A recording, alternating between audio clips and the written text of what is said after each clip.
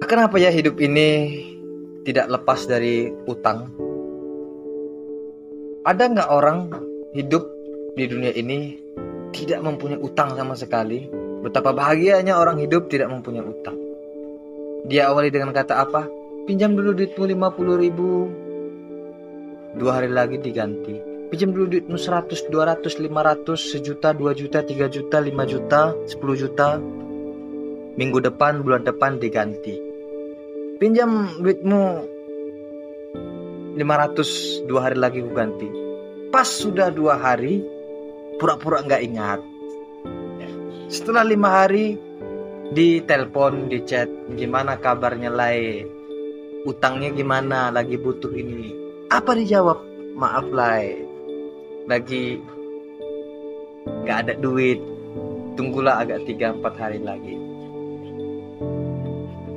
belum lagi pinjaman yang ada di bank dengan menyekolahkan sertifikat BPKB belum lagi belakangan ini marak pinjaman online. Buka YouTube iklan pinjaman online. Buka Facebook buka TikTok pinjaman online. Ada aja bisikan-bisikan install aplikasi pinjol. Setelah di install foto KTP, selfie dengan foto KTP. Untuk apa? Untuk kebutuhan sehari-hari. Untuk apa? Untuk beli baju, beli sepatu, beli hal-hal yang diinginkan lebih mengedepankan nafsu. Utangnya per bulan 5 juta, penghasilannya per bulan 1 juta 500. Apa nggak tekor, stres hidup ini. Lagi-lagi utang, utang, utang, utang. Ada orang mau minum racun gara-gara dililit utang. Ada orang stres gangguan jiwa karena apa? Karena dililit utang. Ada orang mau nyalon pejabat eksekutif ngutang. Ada orang mau beli Honda ngutang, mau beli mobil ngutang, mau beli rumah ngutang, mau kuliah ngutang. Kenapa ini semua terjadi? Siapa yang menciptakan utang? Kenapa ini? Kenapa? Kenapa? Kenapa? Ada nggak orang yang tidak mempunyai utang di dunia ini? Elon Musk, orang terkaya di dunia, kira-kira punya utang nggak? Orang yang terkaya di kampung, kira-kira ada nggak utang dia di bank atau cicilan dia untuk membeli mobil, bangun rumah, beli tanah? Lagi-lagi utang. Memang utang ini kalau sudah menumpuk membuat kita pusing, pusing, pusing ingin rasanya terlahir kembali seperti anak kecil, bersih, tidak mempunyai utang. Jadi kita yang mempunyai utang mulai hari ini, pandai-pandailah kita memanage keuangan. Kita lihat berapa pemasukan penghasilan kita per bulan dan berapa yang harus kita bayarkan per bulan.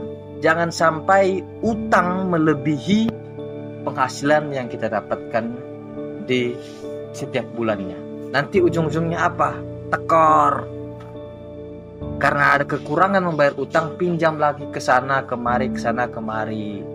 Ya syukur-syukur kalau kita minjam ke kawan tidak ada bunganya. Ini kadang kita pinjam ke pihak bank atau pinjaman online yang bunganya itu ada. Ya kita nerima sekian bayarnya lebih dari yang kita terima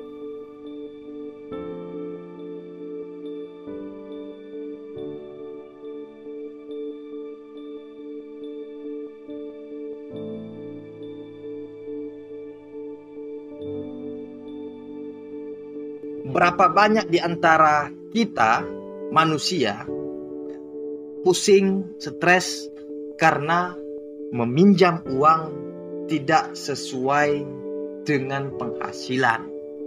Ya. Meminjam uang tidak dipertimbangkan sehingga mengambil keputusan yang salah dan tidak tepat. Ujung-ujungnya apa kalau sudah tumpuk menumpuk ya? Ujung-ujungnya apa kalau utang sudah menumpuk? Ya tutup lubang gali lubang nggak habis-habis ini yang ada makin banyak ujung-ujungnya menjual barang-barang yang kita miliki barang-barang yang berharga mulai dari yang terkecil jual HP jual motor Honda mobil ya jual tanah akhirnya jual rumah akhirnya hidupnya melarat. So, pandai-pandailah untuk meminjam uang. Pertimbangkan sebelum kita menyesal. Oke? Okay? Oke. Okay.